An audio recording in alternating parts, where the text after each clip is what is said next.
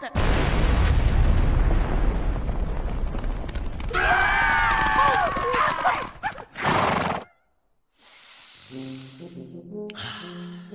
love the smell of pumba in the morning.